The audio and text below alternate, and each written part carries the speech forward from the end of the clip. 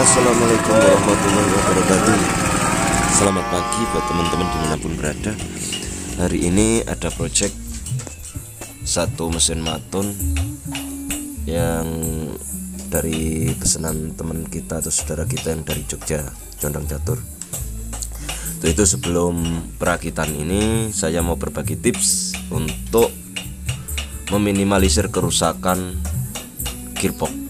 Nah ini alat yang paling pokok dari mesin ini. Jadi untuk gearbox dari bawaan pabrik ketika kita beli baru usahakan jangan langsung dipasang. Uh, alangkah lebih baik kita tambah pelumasan dulu. Bisa dari atas cuman kalau tips dari saya ya tips dari saya nanti kita bongkar dulu lalu kita tambah langsung dari dalam supaya kita tahu seberapa banyak uh, pelumasan yang dibutuhkan. Bisa dari atas bisa bisa juga langsung di apa pakai alat.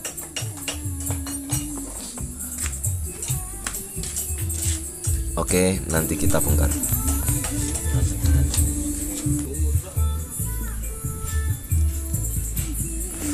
Nah ini bisa juga pakai ini ataupun pakai suntikan yang agak besar. Jadi suntikannya nanti bisa lewat dari atas ini. Cuman ini kan dua apa namanya memakai sistem borem ya. Jadi kalau pakai atas stempetnya hanya lewat atas. Jadi usahakan kita bongkar aja. Oke kita bongkar dulu aja. Pelan-pelan uh, usahakan pakai kunci yang bagus ya soalnya biasanya kalau bawaan pabrik agak susah. Jadi takut kepala bautnya jadi uh, aus.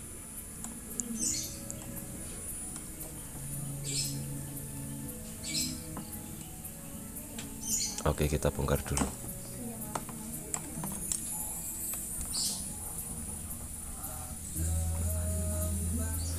jadi prinsipnya itu kalau untuk alat seperti ini kita tidak bisa mencegah kerusakan ya. Ya lumayan sih agak lumayan harganya memang kalau terjadi kerusakan. Cuman alangkah baiknya kita juga harus eh, paham dulu bagaimana cara meminimalisir ataupun memperpanjang usia penggunaan dari alat. Jadi untuk itu kita terus pantau aja. Ini agak susah ini. Nah ini ini barang baru ya. Ini mereknya Robotech. Cuman kalau yang saya sudah bongkar beberapa kali untuk merek Robotech merek Tasco ataupun apa dalamnya itu sama. Masih memakai Albron karena untuk sistem borem itu selalu ada gesekannya. Jadi kalau bahannya tidak albron ataupun kuningan itu akan cepat panas dan lengket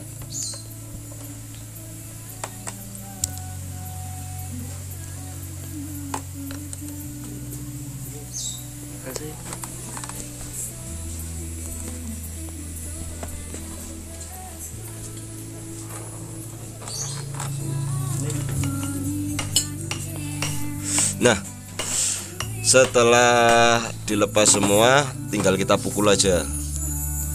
Kita pukul salah satu asnya ya.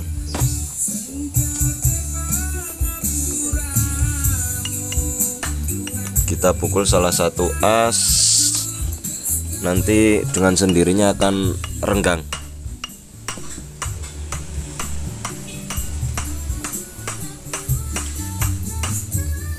usahakan pelan-pelan mukulnya nanti untuk asnya jadi agak penyok atau gimana butuh pengerindaan lagi.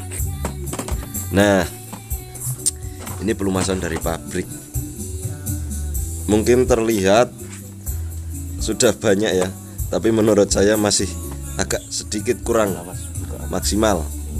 Karena untuk pabrik biasanya melumasi hanya langsung dari atas dari lubang atas. Jadi tidak keseluruhan masuk ke dalam. Nah untuk pelumasan seperti ini usahakan memakai stempet yang bagus. Nah untuk bagian bawah ini belum ada pelumasan ya jadi sangat riskan sekali kalau langsung dipakai saya beri contoh nah ini. Ini eh, gigi yang sudah haus. Bentar. Tak lepas dulu. Nah. Ini dikarenakan lupa lupa memberi pelumasan waktu setelah ada jeda kerja ya jadi setelah pekerjaan mungkin alat ini eh, libur atau tidak digunakan dalam jangka beberapa bulan. Jadi ketika kita mulai menggunakan lagi tidak diberi pelumasan. Nah akhirnya seperti ini. Jadi untuk teman-teman ketika menggunakan alat yang seperti ini usahakan selalu diperhatikan untuk pelumasan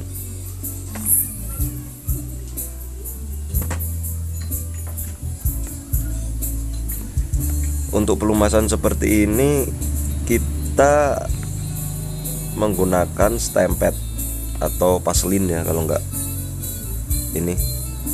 Paselin yang dicampur jangan paselin murni. Kalau paselin murni nanti ini kan berputar. E, berputar gesekan. Jadi kalau paselin murni biasanya agak agak kental seperti gulali itu loh. Jadi ketika gesekan dia hanya akan e, ke pinggir. Di bagian pinggir-pinggir gigi. Jadi tidak maksimal untuk melumasi untuk bagian gesekan yang tengah. Jadi usahakan dicampur dengan oli. Entah oli bekas atau oli yang baru. Kalau mau yang bagus ya oli yang baru. Soalnya kalau tidak dicampur oli resikonya itu tadi uh, akan minggir ke pinggiran-pinggiran gigi. Jadi untuk tengah-tengah gigi tidak terkena pelumasan. Jadi kita langsung saja tambah bagian bawahnya lagi. Ini paselin saya gunakan merek apa aja lah tapi untuk kekentalan tetap kita campur lagi dengan oli. Biasanya pakai top one atau pakai tiga berlian itu agak mendingan. Tapi topan juga udah bagus. Nah ditambah yang banyak sekalian. Karena nanti kalau ditutup misalnya melebar keluar ya nggak masalah nanti bisa dilap. Kenapa kok uh, gearbox seperti ini tidak maksimal untuk penggunaan pelumasan encer. Itu dikarenakan kekuatan seal. Nah seal yang belakang itu tidak sekuat seal-seal mekanis seperti yang ada di samping. Jadi kebanyakan oli akan uh, terdorong ke belakang. Jadi biasanya kalau untuk potong rumput yang pakai seperti ini ini akan kedorong ke setiknya ya. Nah ini seal yang belakang ini. Tidak akan maksimal untuk menahan kalau pelumasan oli yang terlalu encer. Pasti akan hilang. Apalagi kalau diaplikasikan di lahan kering. Misalnya untuk tanah atau apa.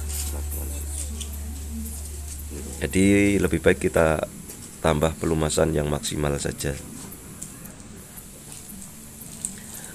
Setelah biasanya jeda pemakaian itu untuk jenis-jenis gearbox seperti ini kalau sudah terendam air atau apa biasanya akan terjadi karat.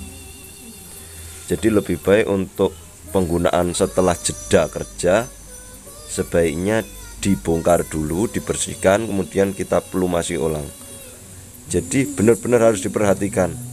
Kalau tidak ya resikonya tadi untuk gigi sekundernya akan aus. Kalau kita pelumasan hanya lewat atas dia akan langsung keluar. Pelumasannya keluar lewat e, lubang baut yang satunya. Jadi tidak sampai ke bawah jadi lebih baik dibongkar saja. Ini setelah sudah kita langsung tutup. Nah ini untuk pemasangan ketika kita sudah tahu bahwa gigi ini aus usahakan jangan sampai terbalik. Jika pemasangannya terbalik eh, nanti akan mempercepat lagi tingkat keausan nah ini dipukul kecil-kecil biar eh, rapat ya jadi untuk memasang gigi sekundernya jangan sampai terbalik ya teman-teman. Eh, soalnya nanti kalau terbalik eh, untuk tingkat keausan akan lebih cepat. Soalnya tidak eh, istilahnya itu tidak menempati tempat yang sebelumnya gesekannya nah ini lagi kalau ini driver ya. Saya akan beritahu bahan yang saya buat. Untuk bahannya saya pakai openg Wipro. Ya lumayan sekitar 35 sampai 40 tergantung uh, harga di toko-toko sekitar teman-teman. Jadi uh, untuk kekuatan bahan ini sudah saya anggap lumayan. Dibandingkan dengan stainless atau apa lebih uh, lunak atau lentur tapi juga kuat tidak gampang aus juga untuk tingkat kepatan juga. Kalau untuk tingkat kepatan tergantung kita membuat eh, penggerindaan di ujung-ujungnya ya. Usahakan tidak terlalu longgar dan usahakan juga harus center nah ini kuncinya agar saat bekerja mesin tidak berat dan kemungkinan aus ataupun mangkokannya eh, mengalami aus itu agak sedikit kurang. Jadi usahakan benar-benar center. Ya karena kalau kita membuat seperti ini dengan cara manual ya memang agak susah untuk center tapi usahakan eh, mendekati center lah agar tidak gampang patah. Jadi kebanyakan kalau ada yang membuat seperti ini kok sering patah biasanya ini tidak center. Kemudian terlalu terlalu kencang untuk masuknya jadi terlalu sesek. Butuh sedikit dilonggarkan biar lancar untuk ke depan e, maju mundur. Seperti prinsip kopel pada mobil itu loh. Nah e, untuk mangkokan kita ambil lagi coba ini. Nah ini mangkokan yang sudah blunder atau aus. Nah ini dulunya full ya kotak ya. Tapi karena kikisan ini obengnya utuh. Tapi untuk bahan ini kebetulan mangkokan Cina ya. Mangkokan Cina. Jadi jadi untuk obengnya utuh tapi mangkokannya aus untuk mangkokan ini harganya sekitar 35 sampai 50 tergantung di toko sekitar teman-teman. Untuk itu lagi saya beritahu tips lagi. Nah ini untuk mangkokan dudukan mangkokan ini uh, atau rumah cloth drum Lumaco drum ini kan ada lakernya biasanya biasanya ya kalau baru itu pelumasannya sedikit. Jadi mesti kita bongkar dulu. Dan kita tambah untuk paselinnya pelumasannya. Jadi kita lepas dulu cloth drumnya lalu kita congkel tutup bearingnya dan kita tambah pelumasan. Nah untuk bahan ini sudah lumayan ya. Saya rasa sudah sangat lumayan. Nanti untuk spare atau suku cadang bisa handmade bikin sendiri. Jadi tidak usah bingung-bingung. Mas cari penghubungnya di mana? Penghubungnya cloud drum atau penghubungnya mangkoan? Ya enggak ada di toko. Saya uh, ini buat. Jadi tidak dijual di toko. Jadi gimana pun kita juga harus uh, bisa sedikit memodifikasi alat ketika tidak ada stok di pasaran. Untuk kalau mau di ini uh, apa namanya untuk bisa di harden bisa juga dipanasin lagi nanti di masukkan ke oli untuk cloth drum juga bisa untuk ujungnya itu. Ini seginya nah ini eh, kita panasin dulu. Kita keraskan untuk bagian yang besar saja. Kalau bagian yang kecil walaupun kecil tapi malah jarang patah jadi kemungkinan untuk aus malah di bagian yang besar. Jadi kita coba panaskan. Kita keraskan. Kita sepuh di oli ya. Ya mas kalau nggak dipanaskan gimana? Ya nggak apa-apa. Tapi kalau ada kalau bisa diaden ya diaden. Kalau enggak ya nggak apa-apa. Soalnya ketika dipanaskan ini buat penitik pun juga sudah lumayan ban ini. Untuk penitik e, besi itu loh. Jadi dipanaskan kemudian di e, sepuh di oli ternyata untuk penitik juga untuk pahat juga lumayan keras bahannya nah kalau sudah merah langsung saja masukin ke oli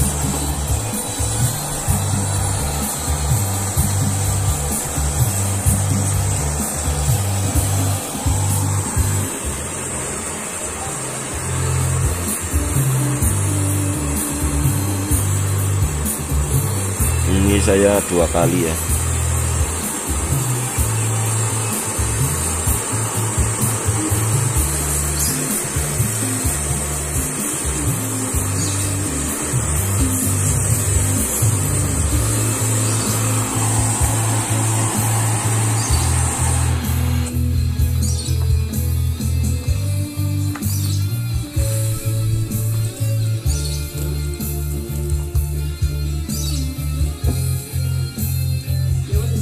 Oke setelah sudah kita bisa diamkan biar dingin. Nah kita lanjut lagi ke bearing pada cloth drum. Ini bearing yang ada di cloth drum atau mangkokan kopling ya. Kita tambah lagi pelumasan soalnya untuk alat-alat seperti ini kalau mungkin untuk potong rumput itu RPM nya kan tidak selalu tinggi. Jadi mungkin untuk tingkat kerusakan masih agak sedikit mending. Tapi kalau untuk mesin matun ini RPM nya kita biasanya selalu tinggi. Jadi keseringan lakernya ini rontok ataupun macet. Kebanyakan macet walaupun masih baru ya. Walaupun masih baru biasanya dipakai untuk uh, terus-terusan dalam jangka sehari aja mungkin kering. Cuman kalau kita tambah lagi atau setelah penggantian baru kita juga beri penambahan lagi insya Allah uh, sedikit minimalisir. Oh, setelah sudah dipelumasi kita langsung pasang pasang aja sirkuitnya. nya kemudian langsung kita pasang cloth drumnya. Oke langsung saja ini pemasangan ya. Untuk perakitan. Untuk merakit sangat simpel sekali. Tapi biasanya kalau eh, ada permintaan via online saya langsung rakit diri bengkel. Jadi untuk pemaketan sudah posisi lengkap terakit. Biasanya memang memakan dimensi ya untuk ongkosnya juga masuk dimensi. Kargo jadi agak lumayan ongkosnya. Kalau seandainya saya uh, tidak pasang. Takutnya nanti ketika di pemaketan itu biasanya tidak tahu isi dari box yang ada di dalam. Takutnya bengkok atau patah atau gimana malah uh, menyusahkan konsumen yang sudah memesan. Nah misalnya seperti ini. Kita langsung rakit kemudian agar terlihat lah paling enggak terlihat bahwa itu memang barang rentan patah atau bengkong agar uh, si kurir juga berhati-hati. Uh, semisal ongkos mahal sedikit tapi keamanan bisa terjamin ya.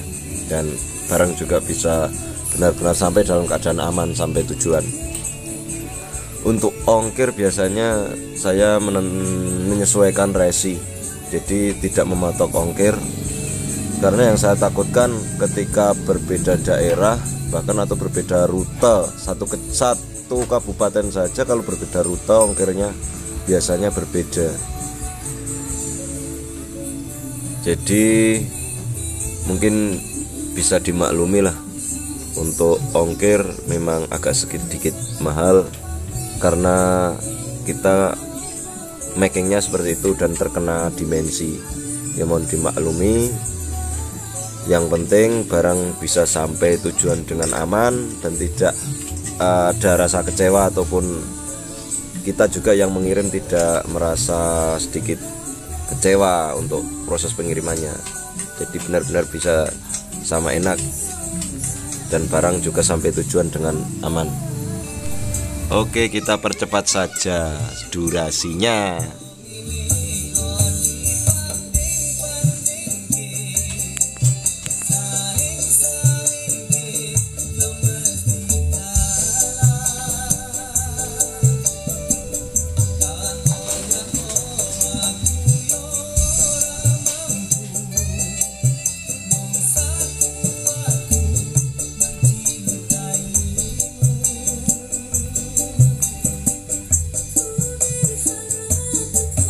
Oke, berhubung sudah mau diambil, cukup sekian dari saya. Semoga bermanfaat dan tetap terus berkarya. Jangan lupa bersyukur. Selamat sampai jumpa. Assalamualaikum warahmatullahi wabarakatuh.